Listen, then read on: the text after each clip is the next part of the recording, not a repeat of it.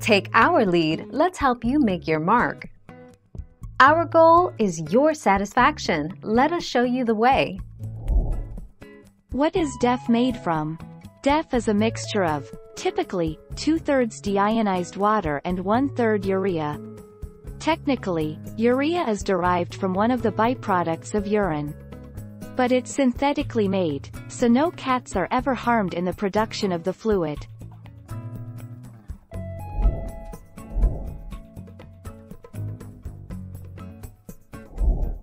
Take our lead. Contrary to popular myth, cow and bat urine and DEF are not a thing. The urea used in the manufacture of DEF is synthetically derived from ammonia and carbon dioxide, and urea production plants are often adjacent to other sites where ammonia is produced, such as coal and natural gas refineries.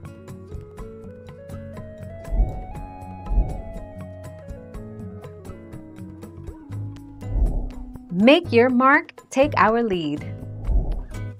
Studies show that it would have to be a constant 120 degrees Fahrenheit for about two years before the DEF would turn into ammonia and disappear.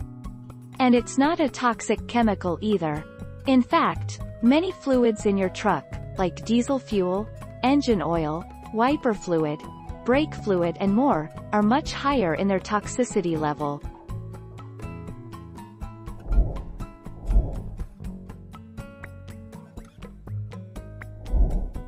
Take our lead. Registered. DEF is urea or otherwise known as aqueous ammonia. Windshield washer fluid that contains ammonia will do in a pinch. It contains less AA than needed but will get you to a town where you can get DEF.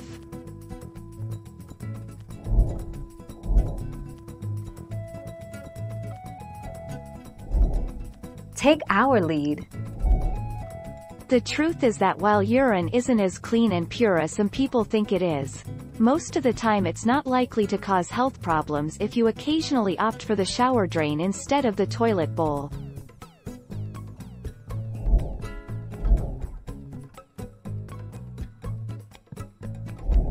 Make your mark, take our lead. Simply dumping diesel fuel in the DEF and vice versa, DEF in the fuel tank, will not harm your engine if you do not start the engine. If the engine is started for even a short time diesel fuel will ruin the SCR catalyst which is very costly to replace and will be out of warranty. Thank you for watching. Please subscribe and hit the bell notification.